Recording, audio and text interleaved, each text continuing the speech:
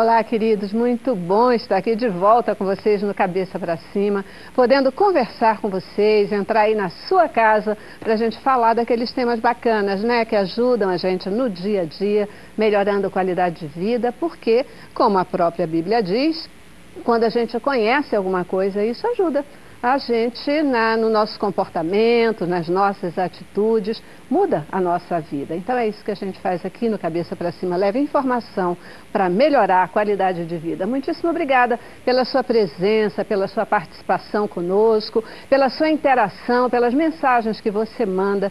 Isso é muito bom. A gente fica muito feliz de poder ter você pertinho aqui, da Boas Novas, pertinho do Cabeça para Cima.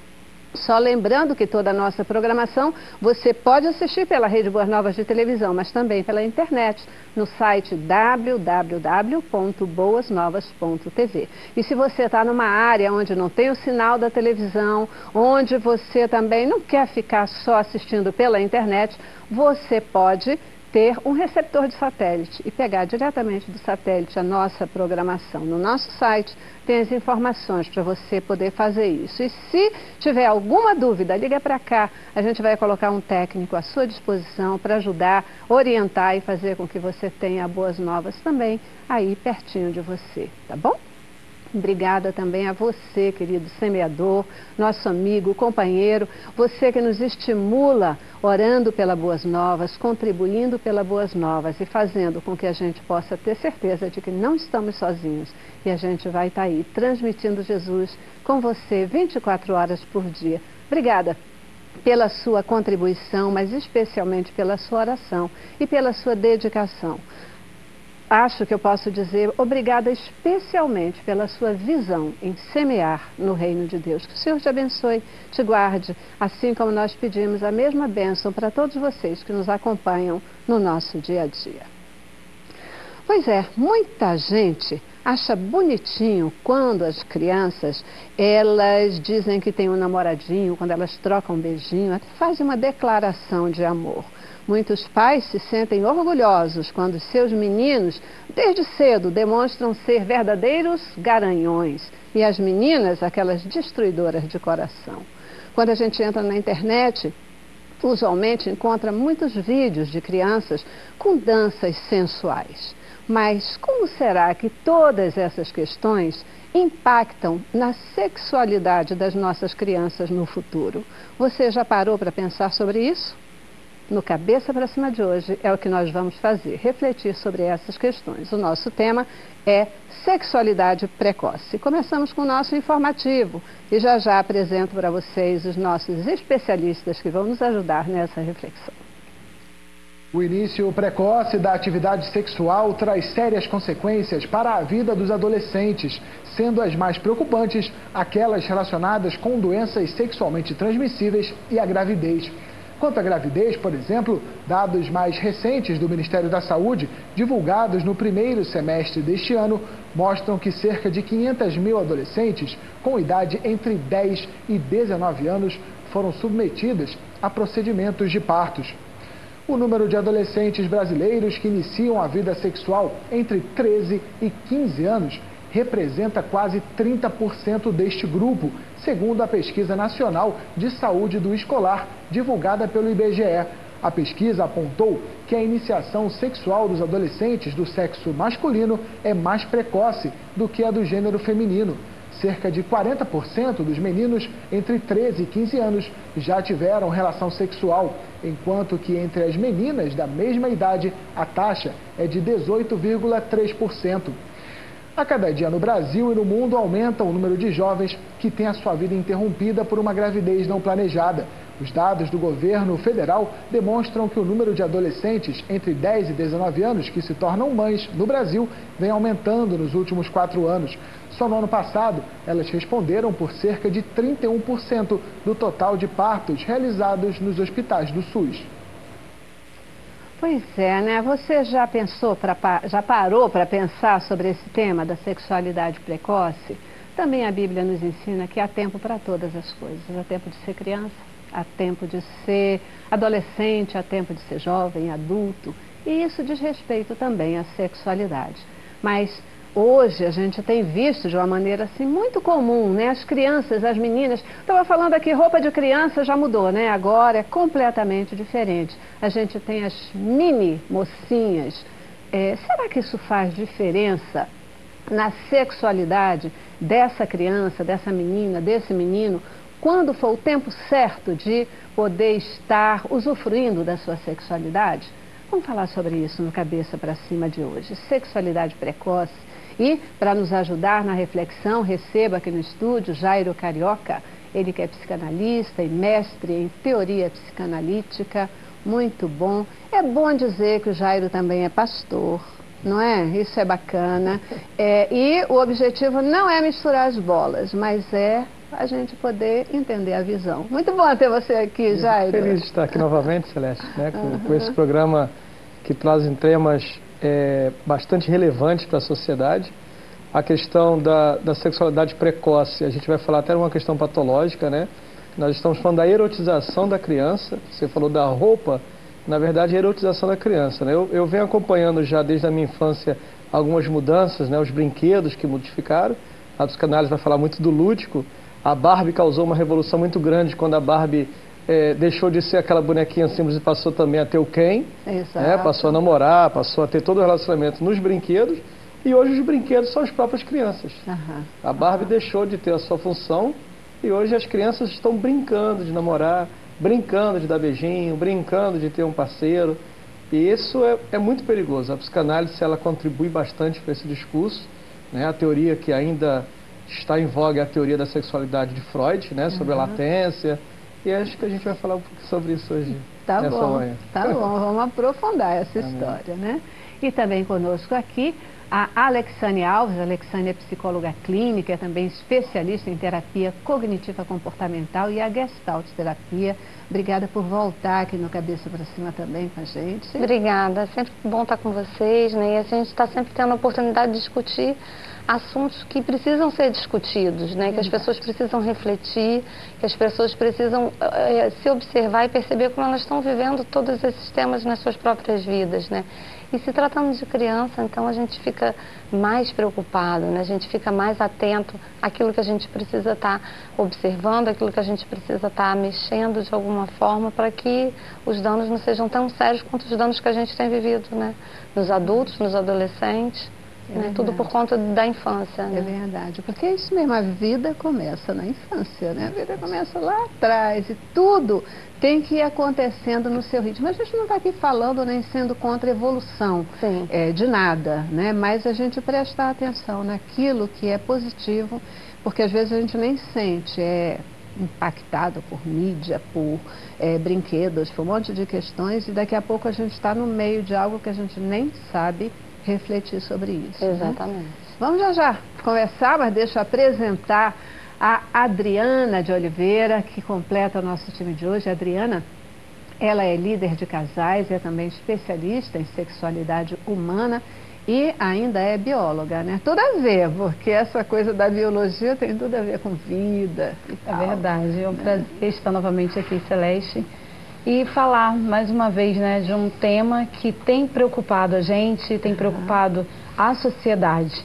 Meninos hoje, meninas, é, numa, numa linha muito cedo, na, no caminho já muito cedo. Uhum. É, de repente, às vezes, falta de conhecimento até dos pais, de como lidar com essa criança. Então, é uma, um momento que precisa parar, pensar e verificar onde a gente tem errado. A gente como pai, como educador, né? Onde a gente pode melhorar? Uhum. Vale a pena discutir esse assunto. É.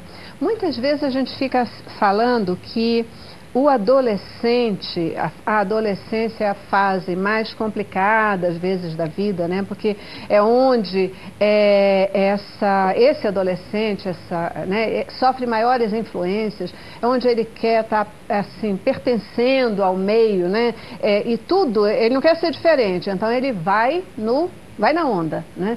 Mas não é só o adolescente, porque muitas vezes nós, como pais, acabamos entrando nesse mesmo ritmo, né? É, entrando no ritmo de é, querer ser igual, querer fazer parte desse contexto e sem querer a gente vai provocando, provocando as transformações, às vezes sem uma consciência daquilo que está acontecendo. Vamos definir sexualidade, já que a gente está querendo falar de sexualidade, sexualidade precoce, etc. Vamos definir sexualidade só para deixar claro do que, que a gente está falando? Quem quer falar? Na teoria psicanalítica, a sexualidade ela começa quando surge a atração pelo corpo do outro. Né? Então, a base da sexualidade é a alteridade. É quando você busca o prazer a partir de um outro. Então aí a importância da sexualidade ser instituída na fase adulta. Quando Freud escreveu o artigo dos três ensaios de 1920, onde ele vai falar da teoria da sexualidade, vai falar da libido, né? a principal coisa que a gente precisa entender é que sexo não tira férias. então, a sexualidade ela está desde o momento em que a criança nasce até a, o momento em que se torna idoso, e, né, até o momento, do início ao fim, como você disse bem claro aqui.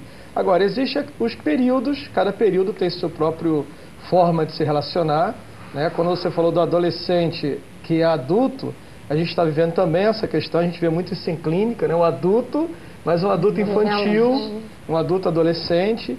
A questão da erotização da infância tem trazido muitos transtornos, porque tem prolongado a adolescência. Então, a adolescência, que por si só é um período de muita dificuldade, porque é o momento em que o adolescente, né, o momento em que esse puber, essa criança, deixa de ser uma, um ser em si mesmo e busca o outro, esse momento é um momento muito angustiante, porque é o um momento em que os pais que são referência deixam de ser referência e quem passa a ser referência dele é o grupo. Uhum. Eu, a gente até falou isso em outros programas, né? É, em, em clínica, como é que se você atende o adolescente? Você precisa saber qual é o grupo dele, porque ele veste o que o grupo veste, ele fala o que o grupo fala e ele come o que o grupo come. Então, uhum. entender o adolescente é entender o seu meio social, é entender o seu grupo. E se esse grupo é instituído na vida desse adolescente ainda na infância, então que laços que ele tem com a família? Uhum. Nenhum. E muitas vezes, Celeste, o que a gente vê também, e aí você disse bem claro aqui, que é a questão do pai e da mãe usar os filhos como cabide para suas próprias frustrações. Então você vê a questão da sexualidade, onde a mãe, né, já, minha esposa tem muita preocupação com isso, por exemplo, na escolha do batom das minhas filhas, eu sou pai de duas meninas, e muitas vezes a gente já mandou, ó, volta lá e troca o batom, que não está na idade desse batom ainda não. Então essa é a preocupação que a mãe e o pai têm que ter. Né? Ó, essa, aí é, essa não é a sua roupa não, essa roupa da mamãe. Mas se a mãe não tiver essa preocupação, acaba que a mãe compra para a filha o que muitas vezes ela, por questão da moralidade, do marido ou da igreja, ela não pode usar. E aí a criança, ela projeta na criança essa sua frustração. Adoece a mãe e adoece a filha. É verdade. Né? Então, é verdade. muitas vezes o adulto usa a criança como cabide para suas frustrações e projeta isso da criança. Olha, olha que adolescente vai ser. Uhum. Então, a sexualidade, na definição da psicanálise, ela tem a base do prazer, né? O prazer, ele é delimitado por leis, então ele encontra a sua satisfação psíquica, ele tem o prazer, e aí ele, ele na verdade, surge a partir do momento em que eu busco no outro. Se não houver esse limite, aí não é prazer, aí entra na teoria lacaniana, que é o gozo, sem limite, né? E sem se preocupar com o outro, só consigo mesmo. Perfeito. Quais são os principais, assim, hoje, quando a gente olha para as crianças, né? Eu falei dessa questão da, do namoradinho, das crianças já trocando beijinho, beijinho na boca. Hoje até as mães, né, fazem isso. É, quais são os, as principais características que a gente percebe hoje dessa, dessa questão da, da, da sexualidade precoce? O que é está acontecendo com as crianças hoje que faz a gente se preocupar e tem que se preocupar, sim, com essa questão? Eu percebo muito que as crianças elas estão imitando os pais muito cedo, uhum. né? A, a, menina já se, quer se vestir como a mãe, quer se maquiar como a mãe, quer ter atitudes como vê a mãe tendo. Né? A gente vê as crianças tendo atitudes muito impostas, né? É, muito firmes para uma criança, né? Como elas veem os pais fazendo. E, e, meninos também tendo comportamentos muito parecidos com o que os pais vêm tendo. É lógico que, que esse modelo vai acontecer sempre e, esse modelo é importante, uhum. mas a gente vê que a, a, coisa acontece muito cedo, acontece muito fora de tempo. A sensação que eu, que eu tenho a partir da clínica é que as coisas estão fora de tempo. Né? E, e, por conta dessa rapidez, desse imediatismo que a gente vive, isso passa por despercebido. As uhum. pessoas não se dão conta do quanto isso está acontecendo. Uhum. E, e, nós vamos criando crianças que se tornam adultos sem consciência de si, têm a percepção de si, essa busca pelo prazer, ela vai muito no automático, né? Eu vejo adolescentes hoje que eu atendo que já estão se relacionando com adolescentes do mesmo sexo por conta de um modismo não por conta do que eles acreditam que sentem de fato, porque eles não, escolha, nem né? percebem exatamente. Né? Eu escuto muito hoje de algumas meninas, ah, eu sou bi. Minha mãe não entendeu ainda que eu sou bi. Meninas de 12 anos, 13 anos, que estão, na verdade, copiando o que elas veem as outras meninas fazendo e nem sabem por que estão fazendo aquilo. Um estímulo a experiências, né? A novas experiências e tornando normal coisas que, na verdade, não são normais, né? Mais do que nunca é, a gente precisa ter muita atenção uh, com relação a isso. É um fato, é um dado de realidade, a gente viu aí no informativo, né, que é, hoje a vida sexual desses adolescentes, ela está começando muito cedo, é, 13 anos a gente já tem, quando que a gente via, é, é 13 anos uma pessoa já, é, é, é, às vezes era até assim, uau, né? Perdeu a virgindade nessa idade, era, era, uma, fenômeno, né? né? Era um fenômeno. É, é, hoje em dia é normal. normal. E parece até que se isso não acontecer, cuidado, né? Olha, normal você. estimulado pela sociedade. estimulado pela sociedade, né? É um negócio assim preocupante. Agora, é, acho que é bacana a gente poder entender por que, que isso, ou como isso pode afetar a vida futura. Qual é o problema? Qual é o problema da criança brincar de ter namoradinho, por exemplo, dessa troca do beijinho entre crianças, eu ainda não estou nem no adolescente, eu estou lá na criança mesmo, né? Das roupinhas diferentes, se vestir como adulto, aquela, o legzinho, não sei o quê, papapá, as mini mulheres, né? Qual é o problema? Como isso afeta essas crianças, se é que afeta? A gente pensando em termos de sociedade, né? porque quando você estuda a criança, está estudando ela inserida dentro de um contexto social. Por outro lado, você tem também essas crianças que fazem isso porque estão em busca da mídia, né? É Facebook, então é, é, é, postando no Instagram, coisa toda. E o que desperta atrás disso? É, hoje a coisa está quase que normalizada. Você abrir a página de um jornal e está ali a questão do, da, do, das pessoas que, que estão em busca dessas crianças né? Você vê a questão de estupro, você vê uhum. a questão do, dos pedófilos, você vê tudo isso. Quer dizer, por um lado você tem uma sociedade que produz esses minis adultos e por outro lado produz para quê? Existe um consumismo, existe todo um processo de consumo.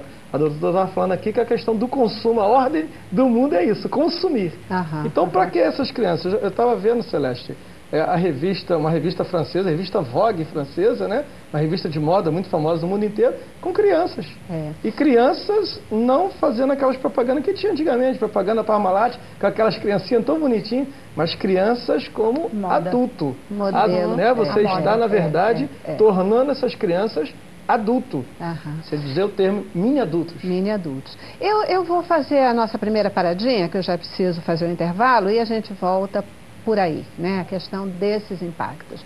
Tá bom, está fazendo mini adultos, mas é só antecipar uma fase da vida.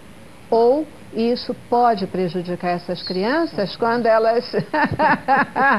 Ele já está chiando aqui. Oh, é provocação? É. É só antecipar uma fase da vida?